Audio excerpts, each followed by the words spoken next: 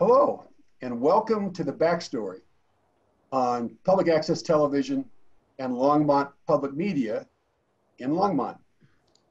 My name's Tim Waters. I'm the host of the backstory, and uh, I have the good fortune in this program of the opportunity to interview the three principal leaders and founders of Longmont Public Media, which is Longmont's new public access television service provider. Scott Converse, uh, Macy May, and Sergio Angeles are co-founders of Longmont Public Media. Scott is the chief executive officer, Macy is the chief operating officer, and Sergio is the chief technology officer. So this has been a, uh, an interesting transition uh, for you and for the city of Longmont, and I want to jump right into uh, who, who you are, what you're doing, and why this is so important to both the city government and the residents of Longmont. So one thing I've said in all of the introductions to the to the backstories is that every story in Longmont that gets reported somewhere is interesting. More interesting than what you read about in the newspaper typically is what you don't read. It's the backstory. And the backstory on this project is fascinating and important to every member of this community. So to get started, uh, would be good to learn a little bit about you three, because I know you've done a lot of work together, not just in LPM. But I'll, I'll maybe, I'll first, Scott, defer to you. Tell us a little bit about who you are, your background, and, and the work you three have been doing leading up to Longmont Public Media, and then we'll do around the horn to, to Macy and Sergio. All right. Um, well, I've spent uh, several decades actually in corporate America, uh, companies like Apple Computer and Paramount Pictures and MCI and Motorola.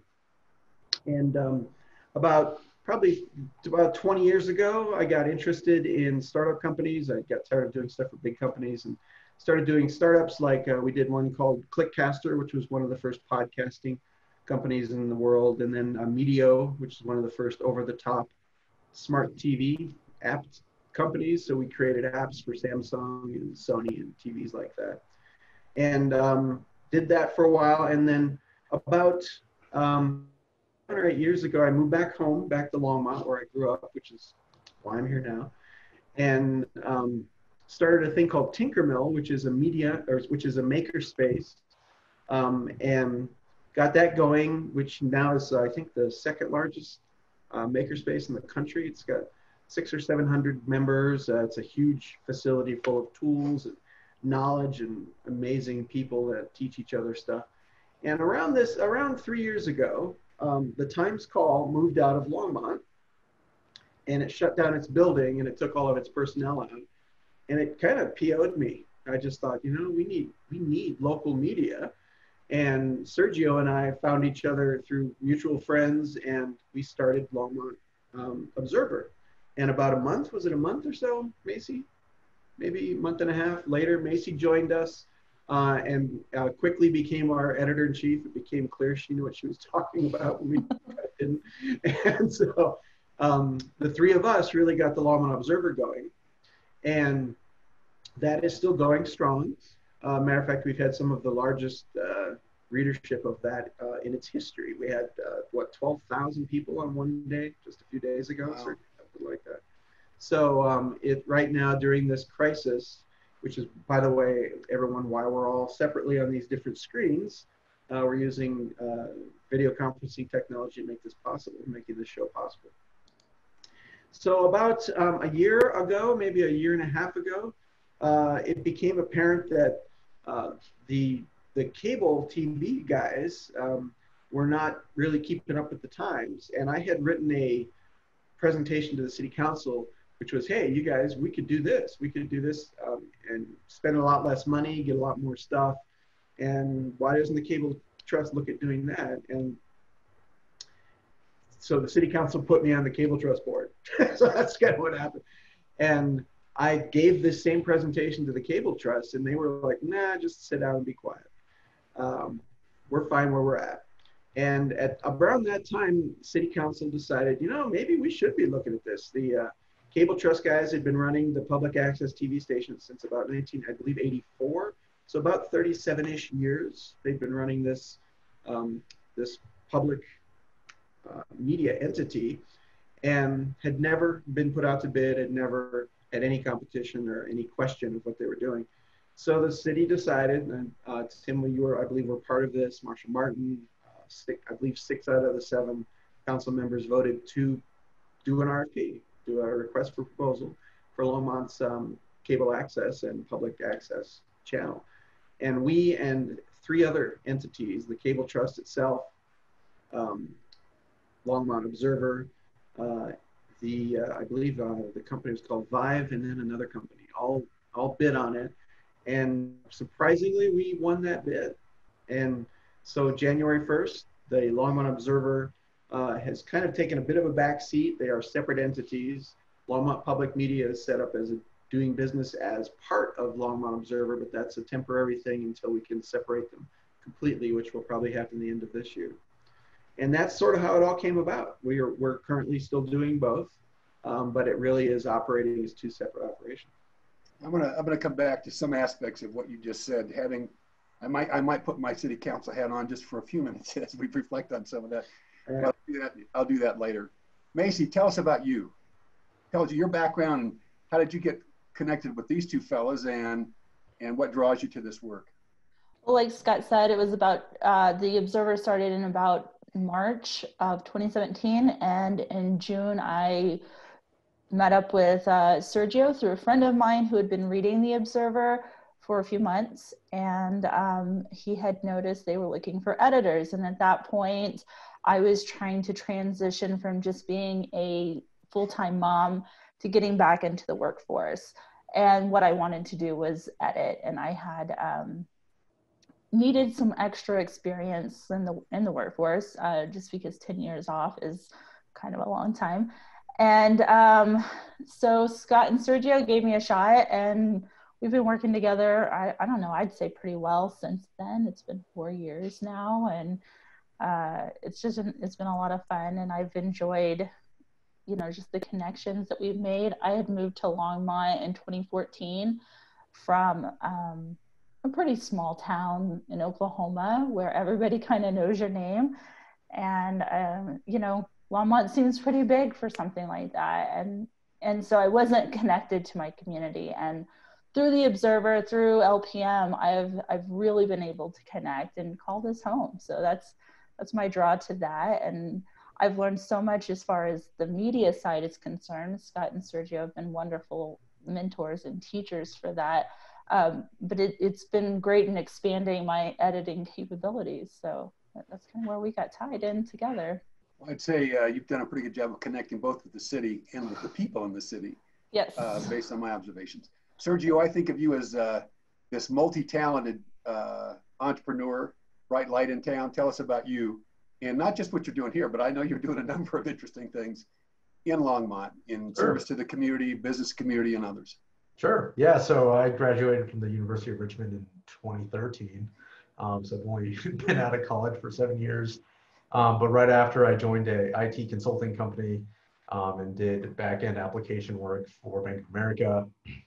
And then from there, I transitioned to designing and building iOS apps for Navy Federal Credit Union, and then moved on to Marriott and helped them um, add more features specifically on the Android team.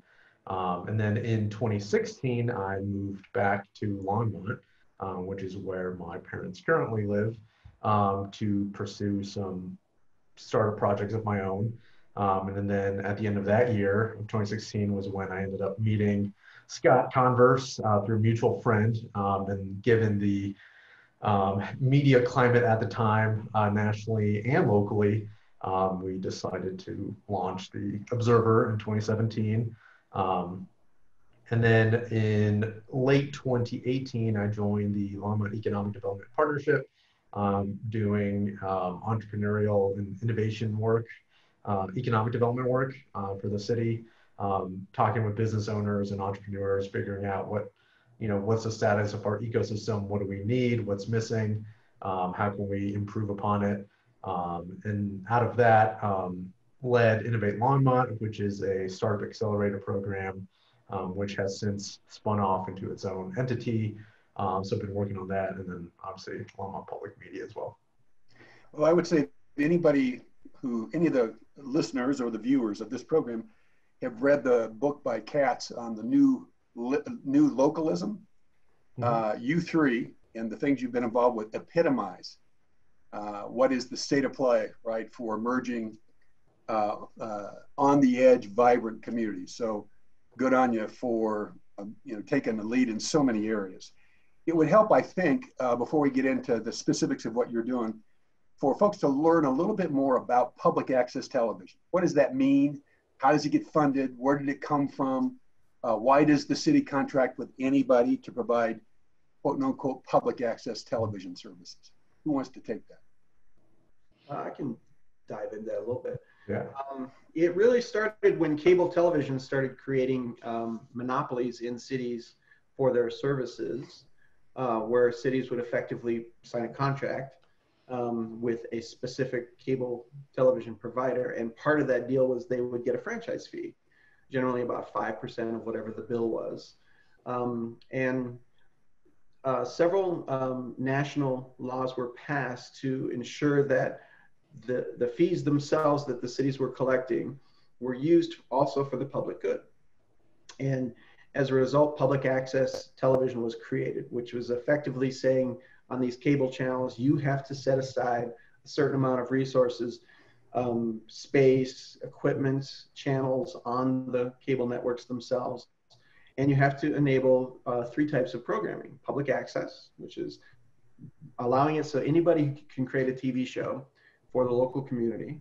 Educational uh, information um, could be about anything, could be schools themselves, but it could just be general educational information. And then governmental, which was really creating transparency of government, things like what you what, what you do now, which is the city council has their meeting every week and that's broadcast on public access TV. So now our we do 17 boards and commissions um, that we record and broadcast. We also transcribe all those meetings so that there is a full text transcription uh, using software to do the transcriptions available to each of those meetings. So that's kind of where it all started. And over time, what's happened is that funding uh, really got to be fairly large. It was several million dollars a year that was available for that kind of stuff. And public access was a, generally a separate entity in every city in America that had a cable system, which eventually became every city. Um, and what happened was that the money itself, there was a loophole in the money, that franchise fee. You, the cities weren't required to give the full amount to the public access operations. So what started happening was the city started taking part of that money. Um, originally it was 10% and it was, you know, 25 and then 50 and currently in Longmont, for instance, it's 75% of the money that's collected for franchise fees is kept and used in other things like public safety and for whatever else the city wants to spend it on. And that was fine because it was still generally enough money because the dollars had gotten fairly high. But about, and we helped cause this when we did things like Medio and Clickcaster. When the internet came around, you started to see a drop off happening with um, people paying for cable. And if you don't pay for cable, you don't pay the franchise fee. So those fees started to drop. So um, what's been happening over the last 10 years and really accelerated over the last three or four is that there's a thing called cord cutting where people just don't have cable anymore. Uh, and as a result, um, we're seeing those fees drop substantially and the money to run public access television is dropping very quickly. Um, like uh, this, this year, this year in 2020, uh, it's around 150-ish thousand dollars. Last year it was around 170 thousand dollars. The year before it was in 190 range. The year before that it was the 220 range. So it's you're seeing this definite downward spiral. And as people continue to use the internet more and pay for cable TV less, you're going to see that eventually go down to zero. So what we decided was that it probably made sense to try some new models. That's why we talked a little bit about Tinkermill earlier that's a makerspace where people, the community gets together, shares resources and tools and knowledge, uh, and um, keeps the keeps um, uh, a, a, large space. It's kind of a 21st century uh, university um, going. And I thought that model might work here. Let's see if we can create a media makerspace. And that's what that's what where we got to today. We still have that money coming from the city, but it's going to be doing this over the next two, three years. And I figure three to four years from now, there will be literally no money there. So we had to find a way to replace that. Otherwise, public access would go away. And sadly, that's happening across the country. um, many cities no longer have a public access, separate public access TV station. In fact, most now. In Colorado, we're the last one. There is, I believe, actually, I believe Aspen. Is that right, Sergio? I think uh, Eagle Valley separate. Eagle Valley. So there's there's one other public access TV uh, network in Colorado that's separate from the city. Every other city has taken that and they've taken that function into the city. All of the educational and the government programming, and they will sometimes have, you know, one guy who works part time doing public access in one of their studios, like Fort Collins does that. Um, and really, public access has kind of just disappeared. Denver shut theirs down last year.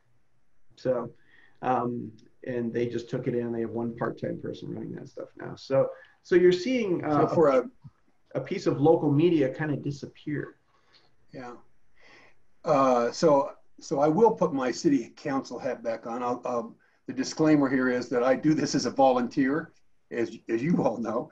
Uh, but every once in a while, probably in every one of these at some point in time, there, there, there is a reason to put a city council hat back on. I, I will say this, uh, having gone through that budgeting cycle, uh, and when we when we got to the topic of, of public access television and we we saw the pattern of declining resources, it, it has to beg the question, and it did. What are we going to do differently going forward? Uh, if we're if we have fewer resources and greater needs, right, or less cash flow and greater needs, what are we going to do differently with the cash flow? And I have to say, uh, the, the part of the story here, part of the backstory is, it's one thing to talk about doing more with less or getting more with less. Uh, that is what's happening here. Uh, the city, in my opinion, both as a volunteer and as a as a council member, um, I, I, look at what's happening and, and I'm thoroughly convinced we're getting more for fewer dollars. And I don't know, you know, you're, you're figuring out how to leverage that. And I want you to talk about how you're leveraging those resources in service to the community.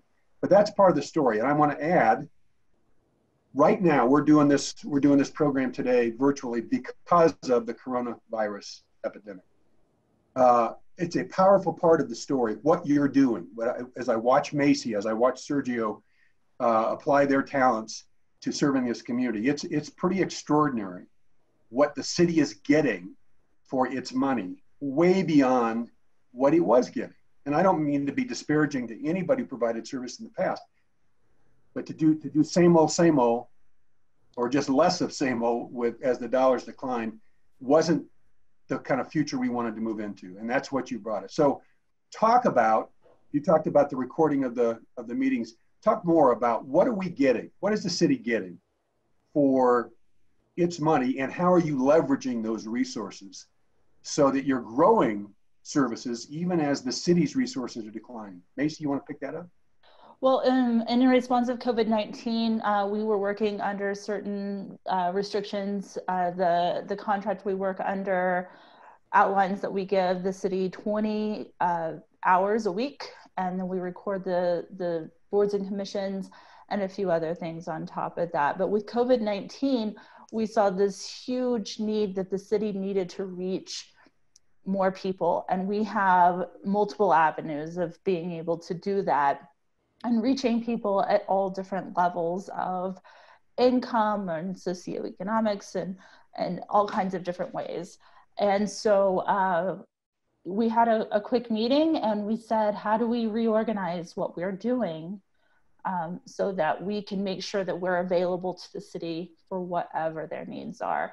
Um, so that we are also supporting our internal videographers and editors and things like that um, through COVID 19. And so we basically opened up the doors and said to, uh, to the city of Longmont, um, please, whatever you need, let us know. If that's sitting there with a daily show, uh, daily updates, if that's doing public service announcements, if that, I mean, how do you how do you want us to do that? And kind of just stopped, and we're like, I don't know, help us out. And so we did have a uh, member meeting where our membership said, Hey, this is what I'd like to see, and here's what I've heard my neighbors say they want to hear from the city. And so we have a list of probably about 50 show ideas to work from. And I have been working with city staff members very closely. Um, they come to me with an idea and they say, okay, this is kind of where we want to go with this. And I, I can say, because I've listened to our community and I've been so connected there that I can say, this is what your community wants. How do we merge that? And so those videos, those PSAs are um, not just a, a, message from the city, but they're aimed so that the community un, um, gets that message better and it's it's basically uh, digested for the or easier, I guess. Um, but then there's other other things that we're working on. I know um, Sergio and I just talked yesterday about doing something for the business community, and um, you know, how do we we bring resources there? Um, one of the other things that we've what kind of that? what was that thing for the business community? Why don't you talk about that a little bit? Oh, okay. Um, well, it, we we just simply started talking about um, forming some some concept of a show around the business community leaders, LEDP, LDDA, the chamber, the Latino chamber, um, members of the city staff. I know Sergio does a lot with uh, Innovate Longmont, and just bringing that together and saying, "Hey, Longmont, this is how." Um, what's available to you here's your resources here are the creative ideas that have come up just in our community and here's how we can band together and support our economic system here in longmont um, so we're still in the idea phase of that, and I know Sergio's got some great ideas to help support that show. Um, one of the other things we did for the city itself was um, some of their of the staff there, especially the recreation staff, started recording exercise videos, and uh, the museum is doing like art for kids, things you can do at home. The they're also doing like their typical Thursday night programming, but virtually. And so all of this virtual stuff has really come together and we've been a platform for them to be able to broadcast that out. And so we daily, uh, twice a day, actually uh, 8 and 3 p.m. have exercise shows so people can tune in and get some little exercise while they're staying at home and staying away from others. Um, wow, there's like the the the ways that we've been able to help has been amazing, and um, it's been great working with um, all the communication staff at the city, and even beyond just some of the, uh, you know, the staff in like the recreation center or the senior center. or Arts and public places had great ideas too. So it's been really fun just being able to figure out how do we survive COVID nineteen together and and follow the protocols, but um, still stay connected so the three words that come to mind as I listen to you are nimble, responsive, and service, right? yes. Uh, which wouldn't be a bad way to be known, right? As an entity, a service entity. Sergio, talk a little bit more, drill down a little bit more about uh, the interest in the business community. What should, what, it, it, let's assume we have some, since everybody's home now, doing, yep. you know, trying to find something to watch, maybe we'll have some of our business leaders, uh, leaders in our business community watch this. Uh, what would you like them to know? about what you're prepared to do and, and how to get it done? Sure. So um, I would primarily say that we have the distribution, and that's primarily what we've been working on is making it um, easier to distribute content across our community, across mobile phones, online, television, um, so forth and so on. Just making it easier for them to send us content, us distribute it, and have people watch it. Um, that's something we've been striving for and we've been actively working on with some other cool and exciting things that are coming up. Um, so that I guess that's really what I wanted to highlight there. Very good. So I, I know going into this, um, uh, leveraging resources, uh, building a sustainable business model, uh, and doing that in a way that in some ways reflects what you learned at the Tinker Mill and then what you've brought forward and what you've learned since the Tinker Mill. So talk about that. Talk about the leverage, how you're leveraging. Talk about what it means to be a member. What are members? What's the what's the value of being a member of Longmont Public, Public Media in the makerspace? People with particular interest, background, or things they'd like to learn. What does LPM represent for them? Well, you see a bunch of different things happening. We have folks come in that are um, pretty much novices but want to learn how to do certain things. Uh, we have a bunch of people who are experts in certain areas, like we've got uh, several sound people that are sound engineers and know how to run recording studios. We've got folks that have been doing video for many years, know how to do editing. Um, we've got fo- folks who are professionals who are doing this now, just starting out in their 20s, uh, trying to build a business around creating videos, but also wanting to give back to the community and to teach others how to do stuff. Um, and what we have there is a 5,000 square foot facility, which is the old Carnegie building at 457 4th Avenue in Longmont. And uh, we have in there um, one, two, we have a, one large television studio, which is uh, very, you know, quite, it's really a, probably the biggest black box type studio in Longmont. Uh, could be used for all kinds of things, for events, um, for other entities to be able to use, um, to have have their own events in and have their own shows if they, if they wanted to do that. Uh, and then we have smaller studios. We have uh, podcasting studios. We have small green screen studios. We even have a small recording studio in the basement with voice booths. Um, so there's a bunch of, of, of space that's usable for lots of things there. Uh, and what that does is that then allows us to put equipment in those spaces. And the kind of equipment we're using um, right now is we don't really go out and buy seven or eight thousand dollar cameras. We use iPhones and we use Mevo cameras, which are these small um, multi-view cameras that act like television studios effectively. Um, and we will be using some higher end cameras as we start to develop more of a, a, revenue model that allows us to buy some of that stuff. But we're doing pretty well without a lot of it already. So, so that kind of creates the place um, where people can come. Then what we do is we have, we're open to the public. Anybody can come anytime they want. Um, right now, obviously they can't because everything's shut down. Yeah.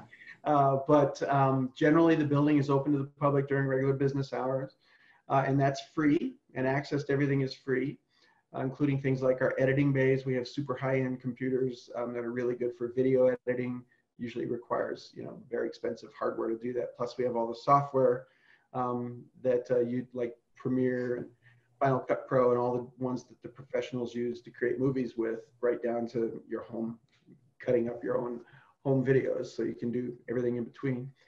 Uh, and if you become a member, like Tinkermill, we have four levels of membership, um, which is um, the uh, um, the low end membership, which is twenty five dollars a month, which is for like students and starving media makers.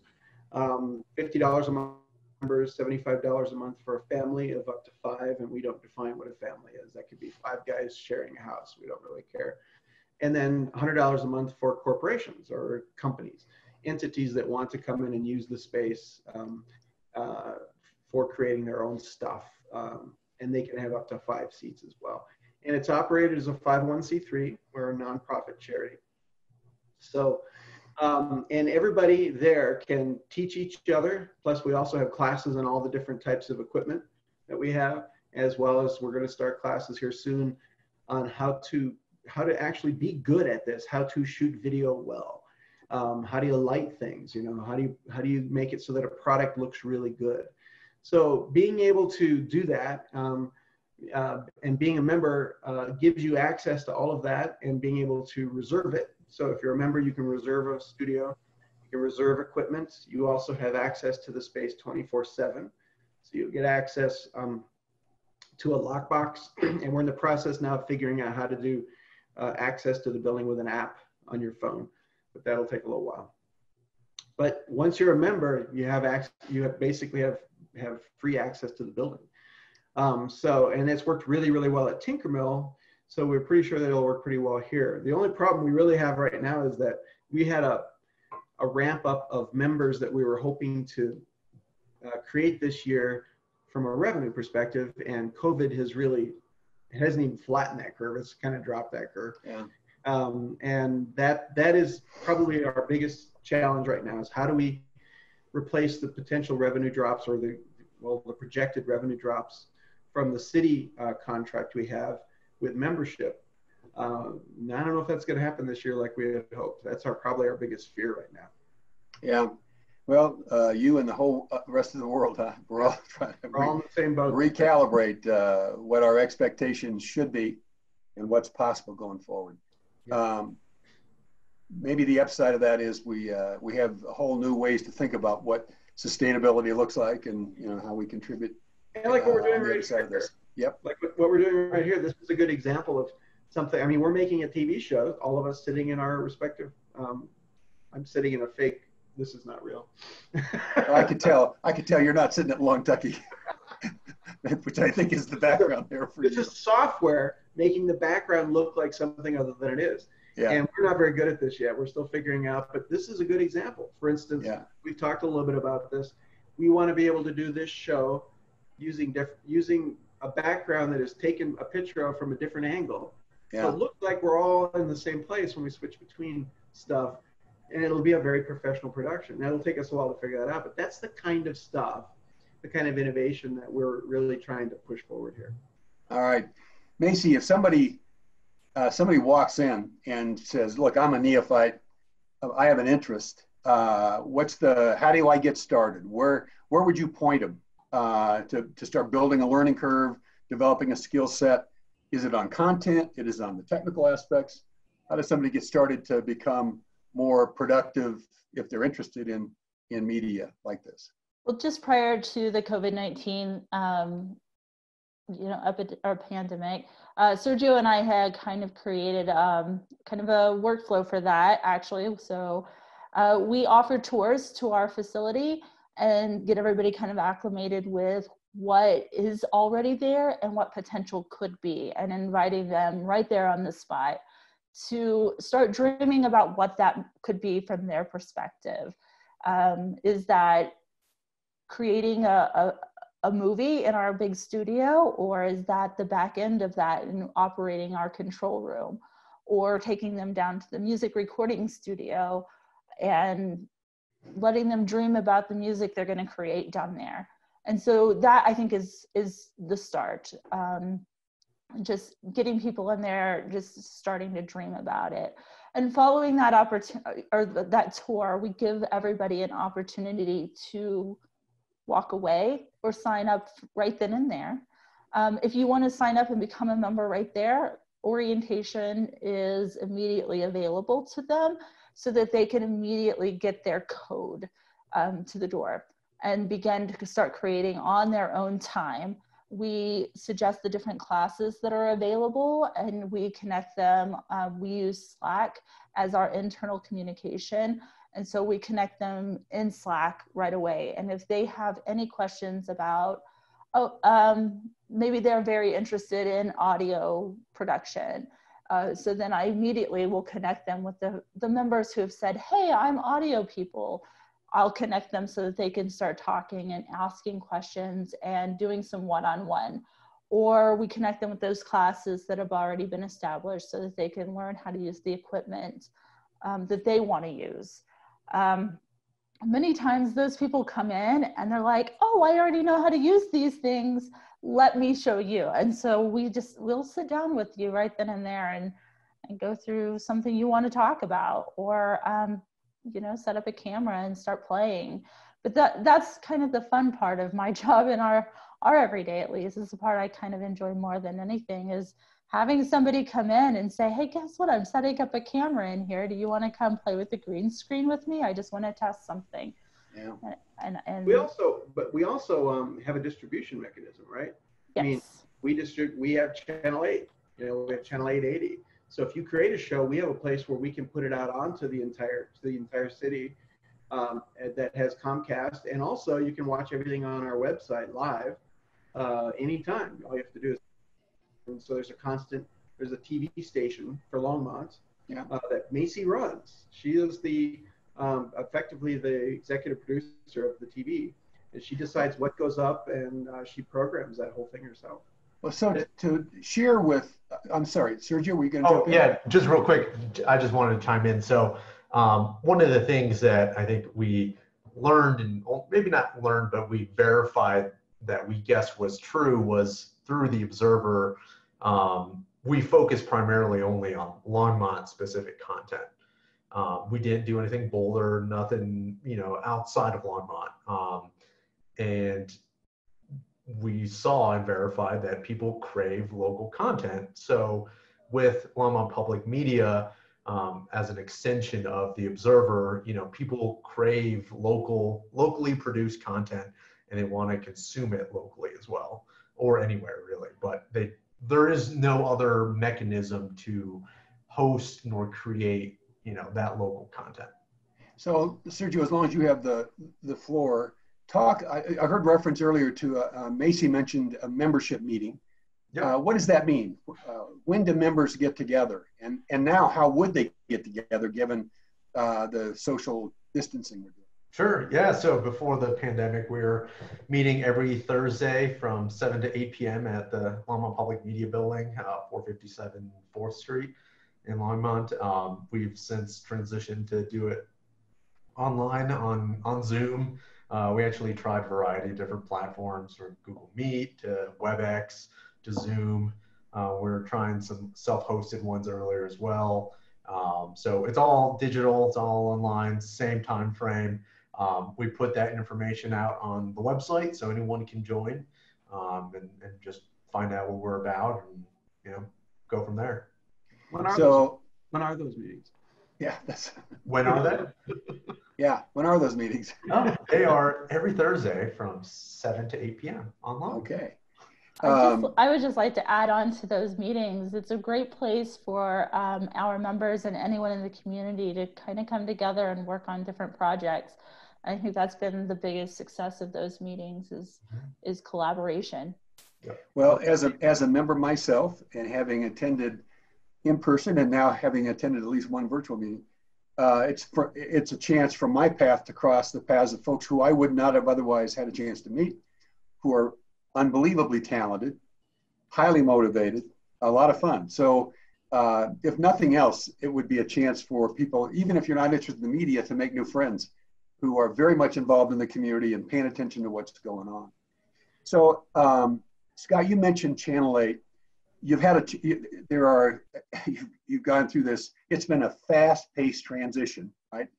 From uh, moving from 2019 to 2020, and almost immediately then confronted with the complications of social distancing and, and having to pivot, right? Be nimble and responsive, as Macy described earlier. You've learned a lot about that distribution system on Channel 8. Share with us some of what you've learned and, um, and, and how you intend to capitalize on that distribution system going forward. Well, what we, a, a bunch of things happened really rapidly. Um, as you know, uh, the city council chamber shut down um, yeah. primarily for, um, they were, their, uh, uh, reconfiguring. Remodeling, yeah. Yeah, remodeling, but it's really more than that. It's making it more accessible for yeah. handicapped and a bunch of really good things actually. So, so, but this was not something that we had actually been told about when we were bidding for the contract. So what happened was we had to figure out how to do remote um, public access uh, city council meetings on a fairly large scale. And we're pretty good at, at covering meetings remotely and doing this stuff, um, but doing it where we were we were responsible for all of the aspects of it, from audio to um, to AV to being able to live stream it to being able to get it up on Channel 8 from a remote location. It wasn't set up for it. Still isn't set up for it. So effectively every week we have to set up a tel- we had to set up a television studio from scratch in about 30 minutes so that you could have your meeting for anywhere from two to four hours and then we had to shut down in about 30 minutes. So it was an interesting experience, and it also taught us a lot about how, um, you know, this is definitely doable, uh, and it's doable with reasonably reasonably priced technology. We didn't have to go out and buy, you know, a huge TV truck and 150, 200,000 dollars worth of equipment, which is what Channel 9 does. For instance, they show up with a truck with literally hundreds of thousands of dollars of equipment and a staff of six people to run a production. So what we figured out to, how to how to do, and Sergio gets huge credit for this. Um, how do we use existing um, technology, software, and low-cost gear to set up a multi-camera studio? Uh, and and I'll let him actually talk about what, what we're doing there now. So Sergio, why don't you just jump in and talk a little bit about what we're doing and how we're able to use that? Sure. I mean, yeah, we have a variety of different setups, but um, we have uh, something called Spreaker Studio where we use a variety of different iPhones um, to create a multicam setup. Um, you just need the software for it. um, which makes you know setting up uh, recordings or live streams incredibly easy. Um, we have different Mevos setups, um, looking at getting additional um, other cameras uh, to make these setups even easier. So it's a combination of software and hardware that is available now for cheap that makes, you know, kind of modernizing public access uh, easier. It also allows us to do things like cover these 17 boards and commissions, which Macy, uh, she pretty, she does a bunch of them herself, but she also coordinates volunteers to show up at these and has, and actually you spent a fair amount of time getting people who are on these boards and commissions to, to run the cameras, right? Why don't you talk a little about what you do there? Yeah, our um, our hardware, the cameras that we use are so easy to use and easy to train anybody on. And essentially, for boards and commissions, uh, the idea is to get the the business of the meeting and not necessarily focus on the individual board members.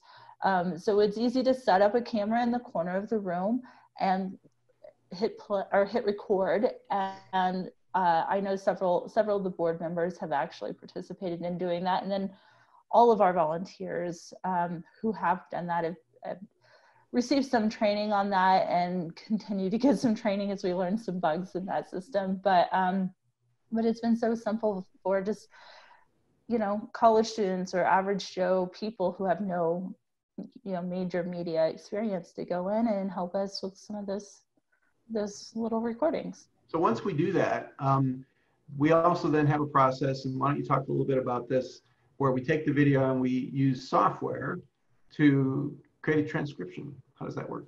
Yeah, so we use otter.ai and we um, upload it to that system and it will take all of the audio from that recording and create a transcription that can be used in a multitude of ways. Uh, one of the ways is the secretaries of those meetings have referred back to that um, whenever they they missed something that that they were just it was just going too fast for them to actually record and they they missed an important word or something.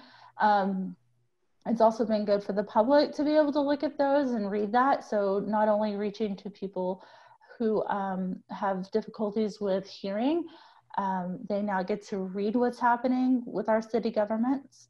Um, and you know, it's just it's been it's been a great tool for us also just to to pair it with that video um, and, and, be able to reference it for ourselves and for other media organizations have used it. The, this is the first time that um, I think there's ever been full text transcripts of anything uh, from from the city council or boards and commissions. I got a call from a reporter from the Times Call uh, three days ago saying, thank you for these videos that you're doing of the city council because what I can't be there. And um, without those videos, we couldn't be doing the reporting we're doing on council right now. So, so we are, um, even though we do have the Longmont Observer, we also are supporting uh, other media organizations, both profit and nonprofit in the community. I will tell you, as a as a liaison to some of those boards and commissions, and as a as a member of the council, uh, both the videos and the transcripts become uh, save a lot of time. Uh, it is not unusual to want to go back months, you know, and an issue gets started eight months ago, and now you're you know going to vote on something, and to go back and try to track the discourse that's occurred um, is a challenge to be able to now go back and look at transcripts without having to go through tapes and uh, is a huge service. So thank you for that. You can search the transcripts. yes, you can. So, so um, what else? What are the, here's my last question. And that is, what else do you want people to know? Uh, what, extend the invitation to get involved. Uh, what have we missed uh, in this conversation that is, that you think critical for whether they're policymakers, uh, members, or just member, uh, just members of the public? Well, I w- let me say this, and I'd like each of you to also say whatever you think here. But most important, www.longmontpublicmedia.org. Longmontpublicmedia.org. Please go there um, uh, and uh, take a look at what's there. Uh, you can become a member. You don't have to pay, pay to become a member. You can just become a public member there. Um, we'll put you on a mailing list to tell you things that are going on. Uh, but join, join Longmont Public Media, even as just a non-paying public member is totally, we'd love to have you. Um, so that's probably the most important thing. Get involved. Come and All get right. involved and feel free to come down to the building when we open again, hopefully in the next couple of you three months. Mason, Yeah. you're going to have the last word on this. So, Sergio? I would say, obviously, similar to Scott, you know, visit longmontpublicmedia.org. Um, but I think one of the beautiful things about LPM is that it's limited really by your own creativity. Um, there's so many possibilities of what people can create from possible dating shows on a local level to Shark Tank and, you know, all kinds of different things. Uh, technology wise, you know, technology wise, how do we, you know, maybe develop a platform that's easier for city council meetings to be broadcast and public invited to be heard? Um, or there's just a lot of opportunity um, to play around, experiment with new technology, create content, uh, and distribute that content. So if you're, you know, interested in all that, you know, we'd love to have you and please, please come. There's never been a more important time for it than right now. Macy, you have the last word. Yeah, I think um, on top of of what Sergio was saying, you know, it's it's limited by your creativity, but especially during our COVID nineteen, right now, I know a lot of businesses are trying to reach out to the community and stay present, stay um, out in front with people watching them, and so we've opened up all of our services just for the yoga studio to you know show off a yoga class or um, you know a restaurant wants to show us how they make their signature dish and they want to record that.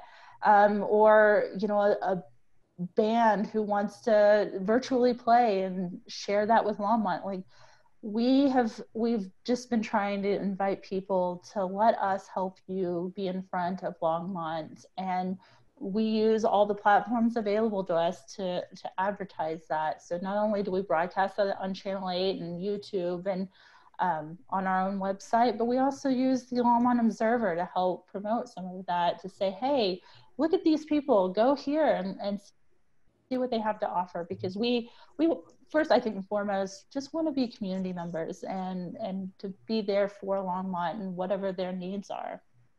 All right. Thanks to the three of you for for participating in this. More importantly, thanks for the service that you're rendering to the city of Longmont and our residents. And Longmont residents, that is the backstory on public access television and Longmont Public Media.